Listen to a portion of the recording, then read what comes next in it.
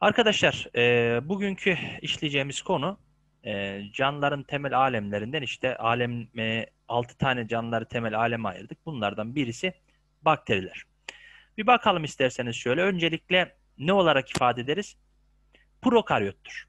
Prokaryotsa e, tek hücreli olarak ifade ederiz. Zaten e, prokaryot olup da çok hücreli olan prokaryot olup da çok hücreli yapısına sahip olan bir canlıya rastlamıyoruz. O nedenle prokaryot hücre yapısına sahip e, canlılar olarak ifade ederiz. Tek hücrelidir. Peki prokaryot olduğuna göre arkadaşlar e, ribozom dışında zarlı bir oluşum yok. Tamam mı? Ribozom da zaten zarlı bir oluşum değil. Dolayısıyla e, gerçek anlamda bir organellere sahip değiller. Sadece e, özelleşmiş bir yapı olarak biz hani organel olarak ribozomu kabul ediyoruz. Ribozom da zaten ne üretiminden sorumludur? Protein üretiminden sorumludur. Orada da bir sıkıntımız yoktur arkadaşlar. Tamam mı? Evet. Şimdi ifade edeceklerimiz bunlar. Şöyle devam edelim tekrar. Ee, tabii burada ökaryotlarla prokaryotlar arasında bir e, ribozomun büyüklüğü açısından da fark ortaya çıkıyor. İşte 70S 80S e, büyüklüğünde. Deriz ki prokaryotlara baktığınız zaman bakterilerdeki ribozomun ökaryotlardakileri de daha küçük olduğunu görüyoruz. Peki bir diğer kavramımıza bakalım. Çoğu bakterinin hücre duvarında değerli arkadaşlar polisakkaritten oluşmuş, polisakkaritlerin amino asitlerle çapraz bağlanması sonucunda oluşmuş bir peptidoglikan adını verdiğimiz bir ne var? Hücre duvarı var. Tamam mı? Çoğu bakteride. Peptidoglikan arkadaşlar nedir? Protein ve karbonhidratlardan oluşmuş bir hücre duvarına rastlıyoruz. Peki bunun dışında ne var? Yine bazı bakterilerde ise bakın şu sarıyla gördüğünüz şey hücre zarı. Hemen dışındaki hücre duvarı. En dışta ise bazı bakterilerde e, saf polisakkaritten oluşmuş ve e, bir neye rastlıyoruz? Kapsüle rastlıyoruz. Peki kapsülün fiziki durumu hakkında hocam ne deriz derseniz şunu söyleriz. Önce bir bakalım. Şimdi zaten yeşille gördüğünüz bir hücre zarı var. Bu kesin var. Bütün canlılarda ortaktır. Çoğu bakteride arkadaşlar hücre duvarına rastlıyoruz. Hocam. Ondan sonra e, ve ve Hocam dışarıda bekleyenler e, hücre zarı canlılarda zaten ortak bulunuyor. Hücre zarının dışında bir hücre duvarına rastlıyoruz bunlarda. En dışta ise kırmızı renkli gördüğünüz bazı bakterilerde kapsüle rastlıyoruz. Tamam mı? E, kapsül e, saf polisakkaritten oluşmuş bir yapıdır arkadaşlar. Sıkıntımız yok. Peki fiziki hali ise biraz daha hani tabir tam oturur mu bilmiyorum ama saç jölesi şeklindedir. Yapışkan bir maddedir. Peki ne iş yapar bu durumda? Bakterilerin bir yüzeye yapışmasını sağlar. Bakın görevlerinden birisi budur. Tamam mı? Yüzeye yapışmasını sağlar ve özellikle dirençli olmayı sağlar. Neye karşı mesela? Antibiyotiklere karşı dirençli olmayı sağlıyor.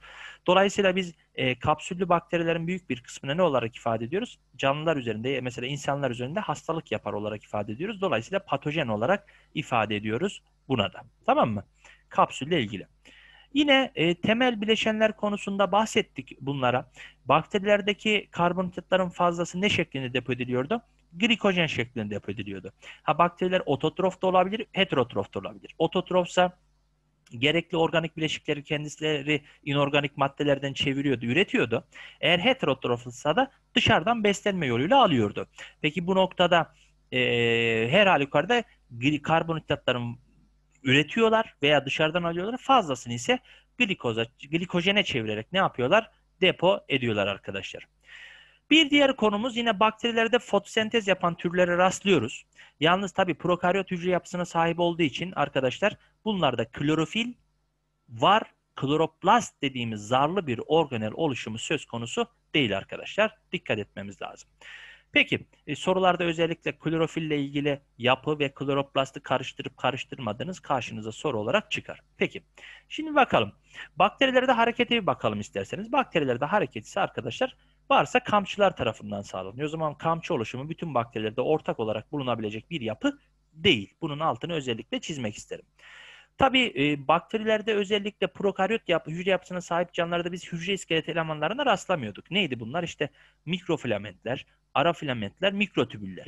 Peki bu noktada özellikle ökaryot hücrelerde biz bunlara rastlıyorduk ve e, bakterilerde arkadaşlar prokaryot oldukları için mikrotübül, mikro e, şey e, ara filament, mikrofilament gibi yapılara rastlamıyoruz. Tamam mı?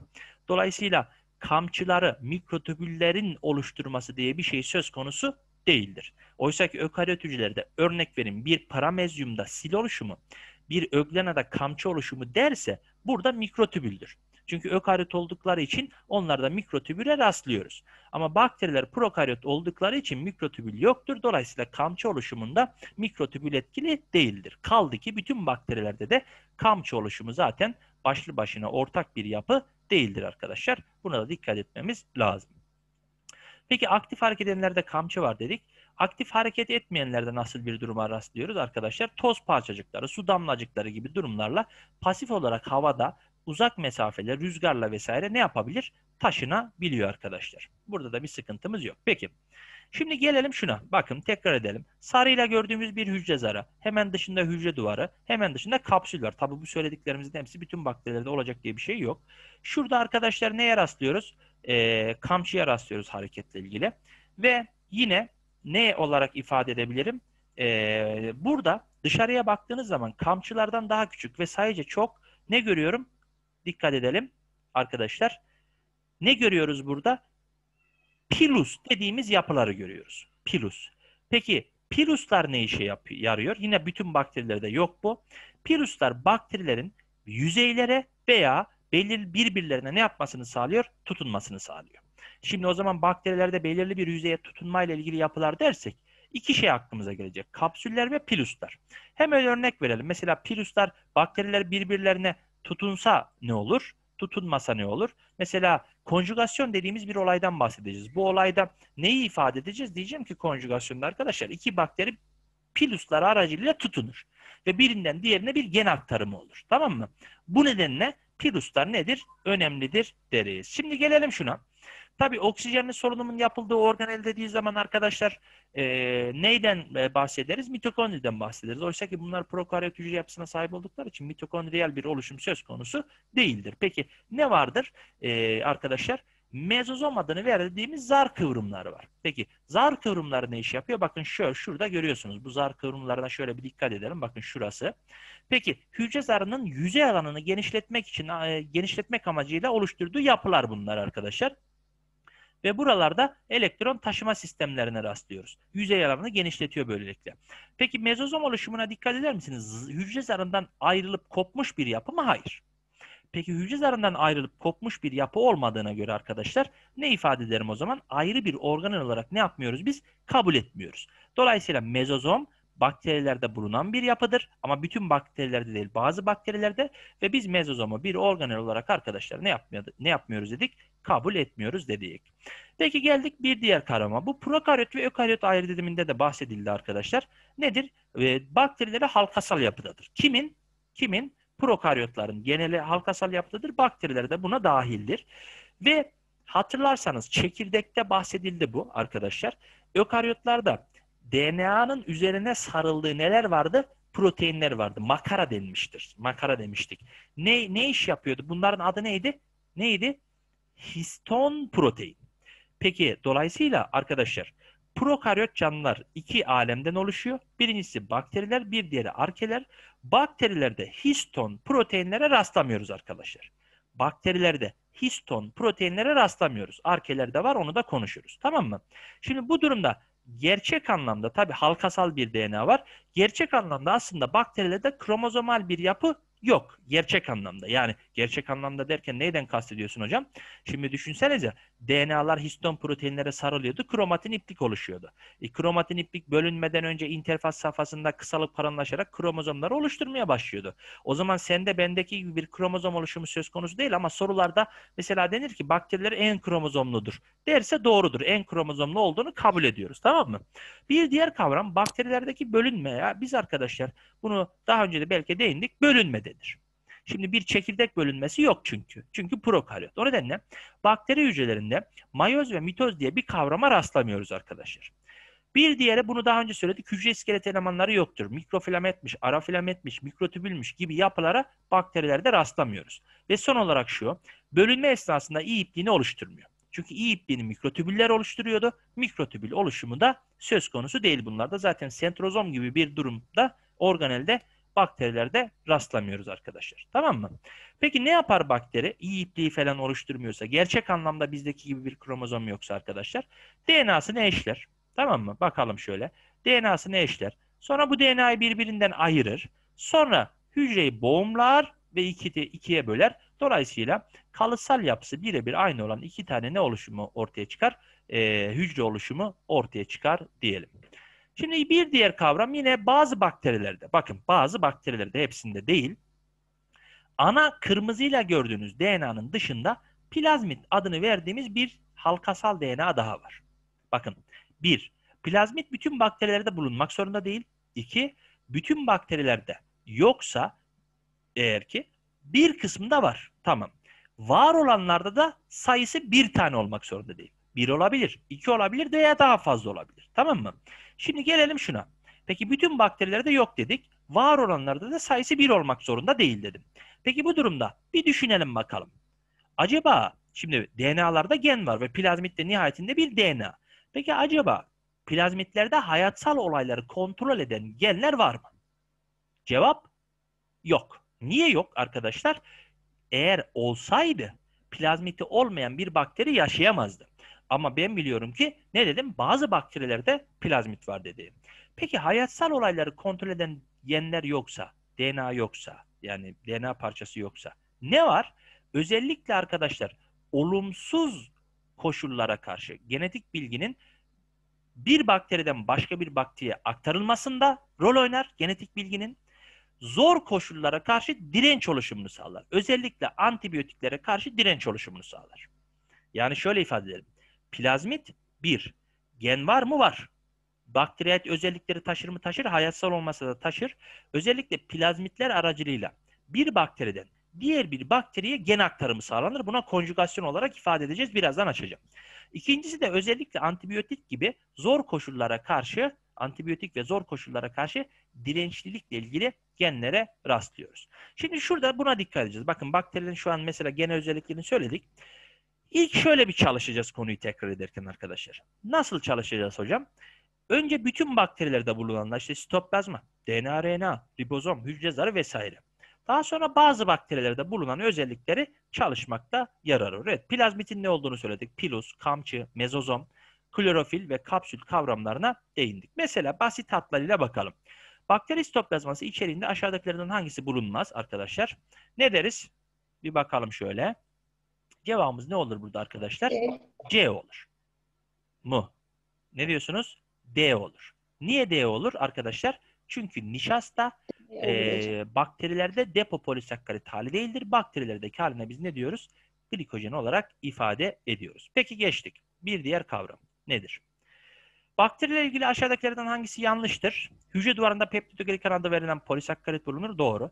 Oksijen solunumu yapan bakteride mitokondri bulunur. Yanlış. Mitokondri ökaryotlara hastır. Prokaryotlarda rastlamıyoruz. Hastalık yapan bakterilerde çoğunlukla kapsül bulunur. Hemfikiriz. Bakteriler uygun olmayan ortam koşullarında hayatta kalabilmek için endospor oluşturur. Birazdan söyleyeceğiz. Bütün bakteriler ribozom vardır. Doğrudur. Dolayısıyla cevabımız burada D şıkkı, şey B şıkkı olacaktır. Peki bir diğer kavram bakterilerin tümünde. Bir bakalım soruya. Yapılarından hangileri ortak olarak bulunur? Hangisi olacaktır? Kamçı bazılarında dedik. Halkasel DNA evet hepsinde. Ribonükleik asit yani RNA hepsinde. Mezozom ise bazılarında. Cevabımız arkadaşlar ne olacaktır? 2 ve 3 olur. Evet devam ettik. Şimdi geldik şuna. Tabii bakteriler bir de olumsuz ortam koşullarında endospor dediğimiz bir yapı oluşturur. Tamam mı? Şimdi bunu isterseniz bir açalım. Hocam nasıl açalım? Şöyle açalım. Bir ikiye bölelim. Tamam mı? Endo ne demek? Spor ne demek? Endo iç demek biliyorsunuz. Tamam mı?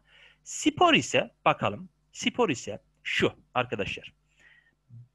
Hücrenin olumsuz koşullarda nedir bu olumsuz koşullar? İşte aşırı sıcaklık olabilir, kuraklık olabilir veya işte pH'ın uygun olmaması gibi olabilir vesaire gibi durumlarda yani bakterilerin olumsuz koşullarda hücrenin etrafını ya da kalıtım materyalinin etrafını kalınlaştırarak oluşturduğu olumsuz koşullara dayanıklı hale gelmiş bir yapıdır.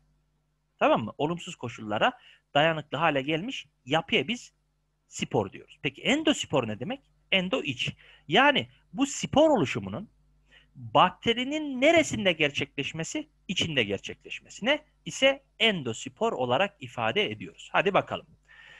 Şimdi bakın şöyle bir bakteri hücresine bakalım. Bak bakterinin bir DNA'sı var mı? Var şöyle. Bu DNA'yı kalın bir kapsülle arkadaşlar çevirir, zırhla ve bu zırhtan sonra mesela olumsuz koşullar bakterinin geri kalanını yok edebilir ama endosporu ne yapamaz? Yok edemez. Daha sonra ne zamana kadar bu endospor halinde kalır dersek arkadaşlar şartlar tekrar olumlu hale gelinceye kadar. Peki ne olur en olumlu hale gelince de tekrar eski halini alır ki buna endosporun çimlenmesi denir ama lütfen bunu bitki çimlenmesiyle falan karıştırmayalım. Endospor tekrar eski haline gelir. Bakteri arkadaşlar nerede kalmıştık der ve devam eder. Tamam bakalım. Bazı bakteriler olumsuz çevre koşullarında endospor denilen dayanıklı yapıya dönüşür. Endospor bakterinin yaşamasına izin vermeyen çevre şartları yaşaması için uygun hale geldiğinde tekrar bakteriye dönüşür.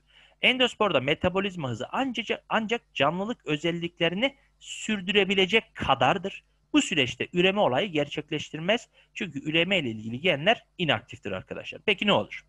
Bakteri su kaybeder. Tamam. Su kaybederse metabolizma hızı ne yapar? Yavaşlar. DNA'ya dayanıklı bir örtüyle kaplanır. Böylelikle koruma altına alınır. DNA'nın niteliği ve niceliği değişmez. Yani kalıtsal yapıda bir değişiklik olmaz arkadaşlar. Şekilden bakalım. Kırmızı ile gördüğünüz yapı nedir arkadaşlar? Kırmızı ile gördüğünüz yapı endospor oluşumudur. Endospor. Tamam mı? Ha, geri kalan kısmı bakterinin diğer kısmı. Şimdi bakteri DNA'sıyla sitoplazmasının bir kısmının etrafını zarla çevirir. Spor oluştu. Ve nerede oluştu bir spor? Bakterinin içerisinde oluştuğu için endospor oluşumu olarak ifade ediyoruz. Bakalım bir. Bakterilerin endospor haline geçmesi sürecinde meydana gelen değişimlerle ilgili hangisi çizilemez? Sitoplazmadaki su miktarı azalır. Hemfikiriz. Metabolizma hızı artar. Hemfikiriz. Çoğalma hızı arkadaşlar nedir? Sıfırdır. Dolayısıyla yalnız 3'ü ben burada ne yapamam? Çizemem arkadaşlar. Devam edelim. Peki bakterilerin genel özelliğini söyledik. Bir diğer kavram bakterilerde üremeye bakalım. Arkadaşlar bakterilerde üreme sadece eşeysiz olur. Bakterilerde eşeyli üremeye rastlamıyoruz. Peki bakterilerde eşeysiz üreme nasıl olur dersek arkadaşlar DNA öncelikle şöyle söyleyeyim kendisini eşler. Bir o bakterideki DNA'lardan iki tane olur ana DNA'dan.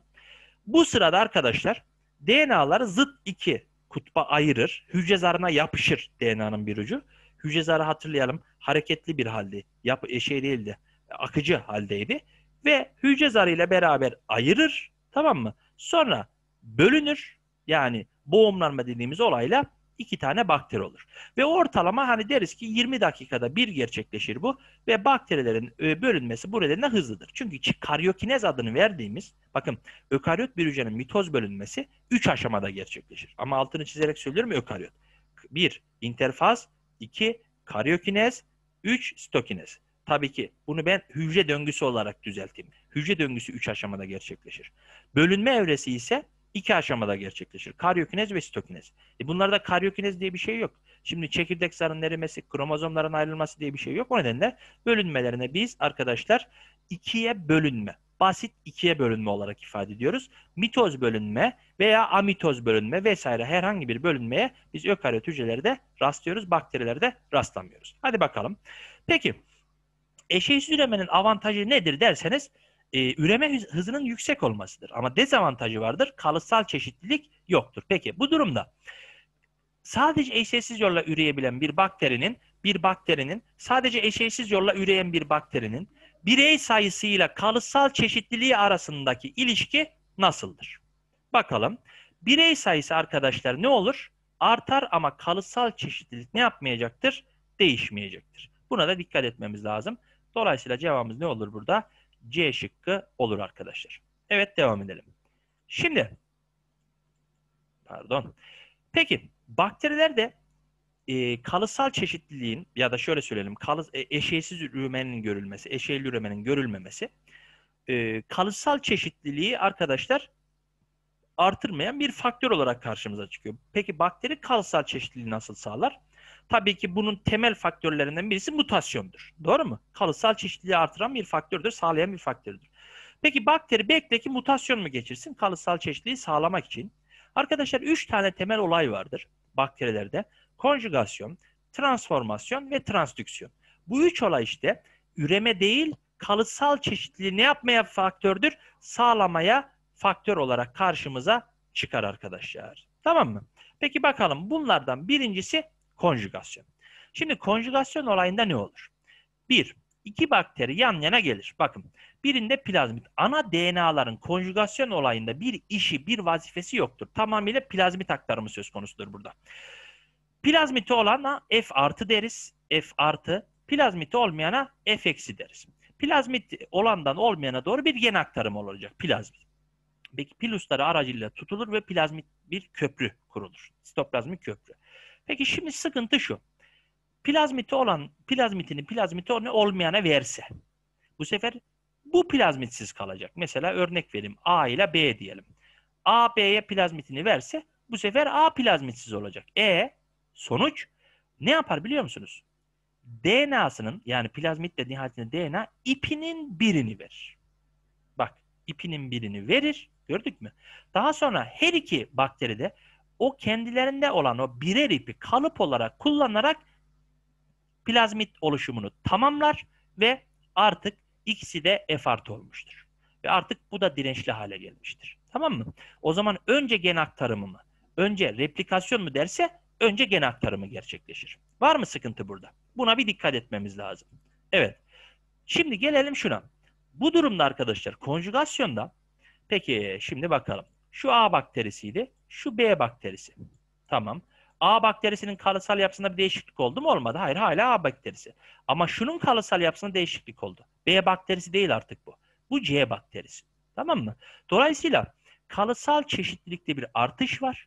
Ama birey sayısında bir artış yok. O nedenle birey sayısında bir artış olmadığı için bakterilerdeki konjugasyon olayını biz üreme olarak ne yapmıyoruz? Kabul etmiyoruz arkadaşlar. Tamam mı? Burada da dikkat etmemiz gereken bir durum var. Peki gelelim neye? İkinci olarak arkadaşlar kalıtsal çeşitliliği sağlayan bir faktör var. Transformasyon. Ne demek? Bakteriler arkadaşlar bulunduğu ortamda DNA parçası varsa bu DNA parçasını alıp bu DNA parçasını alıp arkadaşlar kendi DNA'larını ekliyorlar. Peki kalıtsal bir çeşitlilik oluyor mu? Kalıtsal yapı değişiyor mu? Evet değişiyor. Burada sıkıntı yok. Ama birey sayısı artıyor mu? Hayır. O zaman transformasyon da yine kalıtsal çeşitliliği artıran bir faktördür. Bir diğer faktör de yine kalıtsal çeşitliliği artıran transdüksiyondur arkadaşlar. Transdüksiyon ise ne? Ee, virüsler aracılığıyla bakterilere ne aktarılması olayıdır? Gen aktarılması olayıdır. Tamam mı?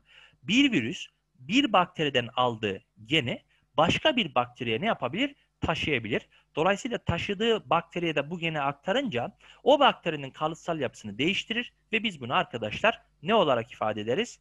E, transdüksiyon olarak ifade ederiz. Evet, üç tane temel olayımız bu. Bakteri hücresinin genotipini çevreden alınan yabancı bir DNA ile değişikliğe uğratmasıdır. Transformasyon, aynı türden iki bakteri arasında sitoplazmik köprü sayesinde plazmit aktarımıdır. Ne? Konjugasyon, bakteri enfekte eden bakteriyofajlar yani virüsler e, bir hücreden diğerine arkadaşlar gen taşımasıdır. E, buna da transdüksiyon olarak ifade ederiz. Bakalım. Konjugasyon olayını görüyoruz. Peki bu durumda yeni alan bakterinin değişen ortam koşullarına yeteneği artar. Evet. Sıkıntı yok. Geni veren ve geni alan bakterilerin bütün kalıtsal özellikleri aynı olur. Yanlış.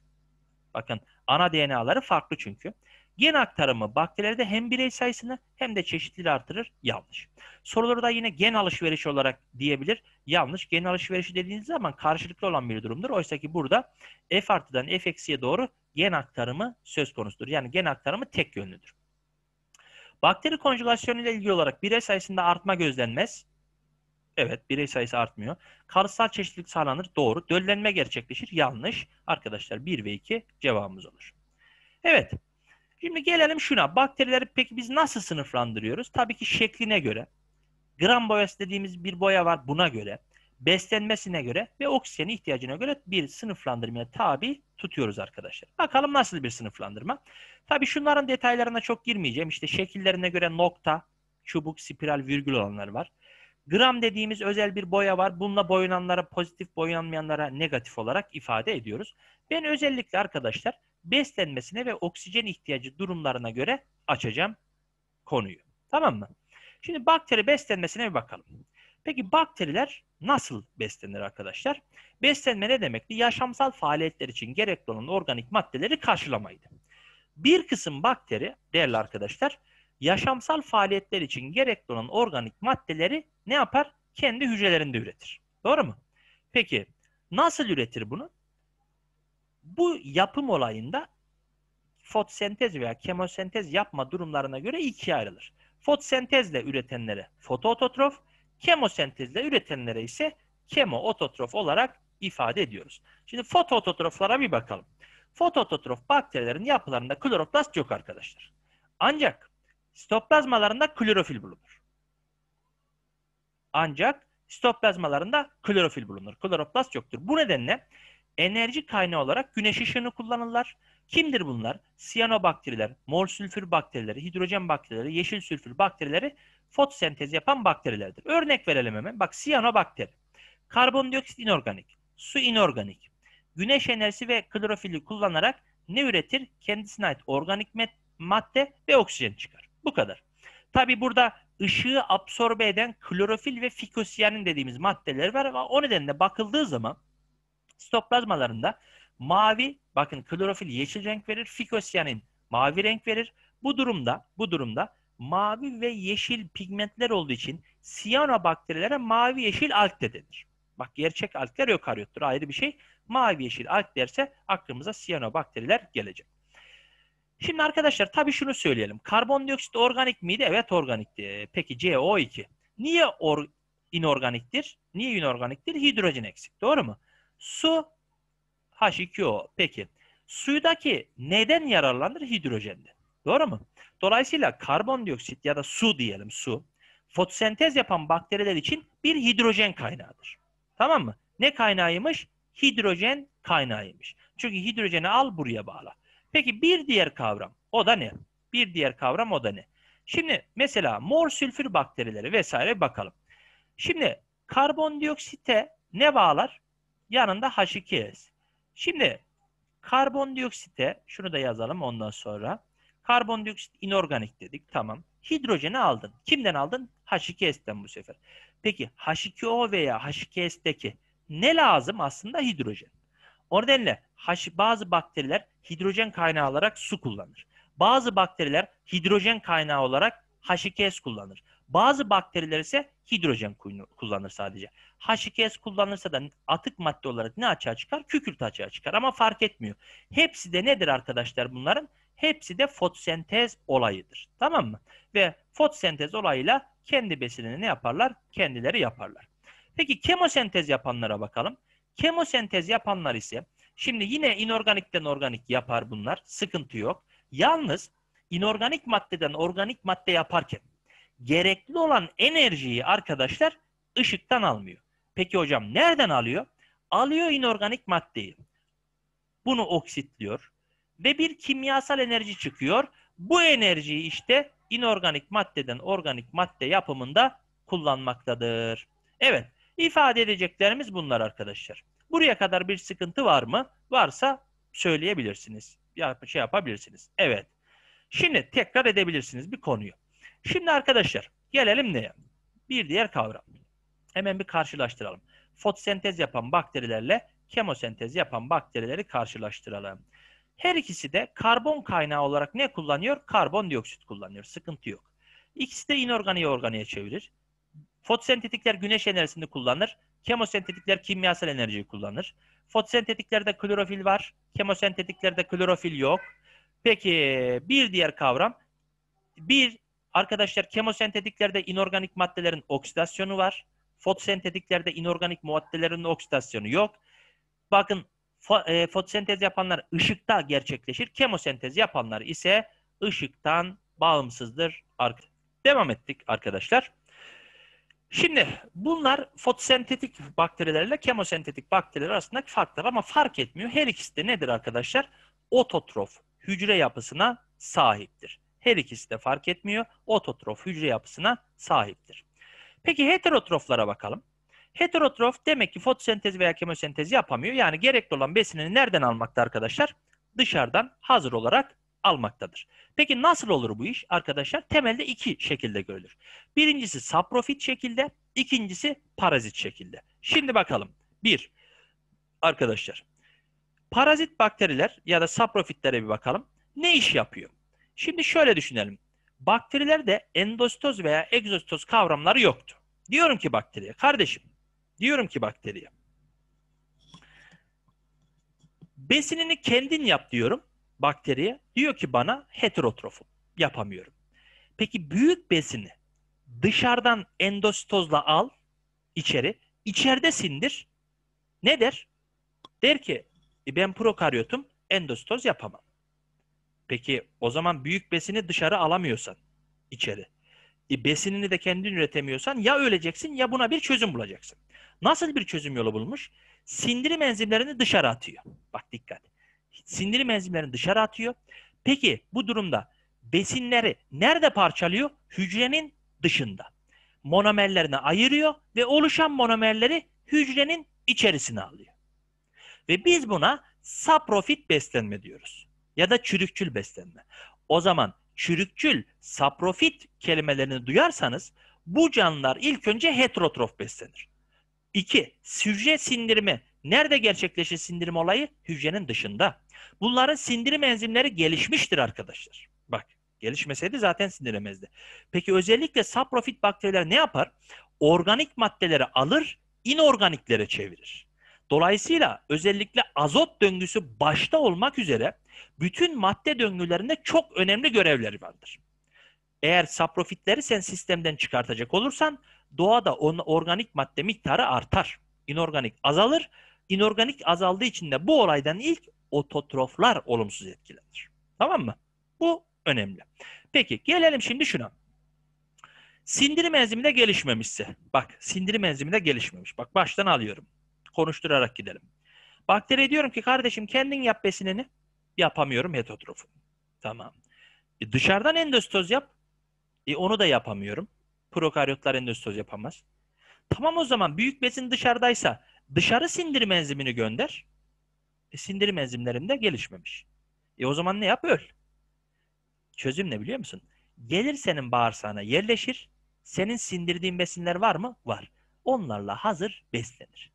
İşte bunlara da biz parazit bakteri deriz. Peki parazit bakterilerde hücre dışı sindirim enzimleri bak gelişmemiş. Bu nedenle hazır monomer bulunan yerlerde yaşar. Bak mesela nişasta, nişasta, protein gibi büyük besinlerin olduğu yerde yaşayamaz. Amino asit, glikoz, vitamin gibi küçük monomerlerin olduğu yerlerde yaşar. Tamam mı? Ama bak saprofit ise saprofit bir bakteri hem monomer hem polimer fark etmez yaşar.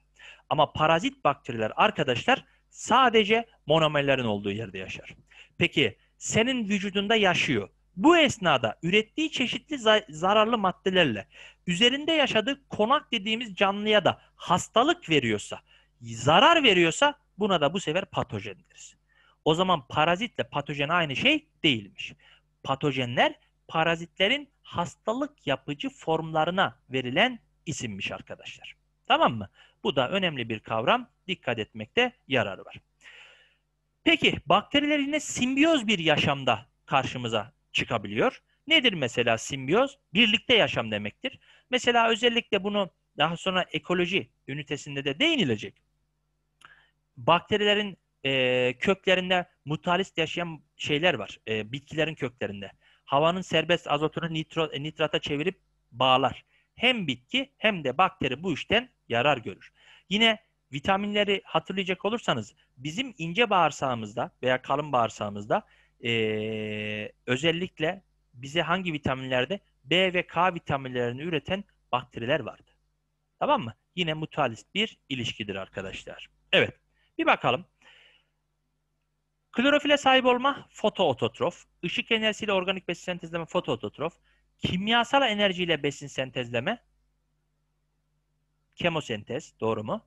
Peki inorganik maddeden besin sentezleme her ikisi için de nedir? Ortaktır deriz. Evet.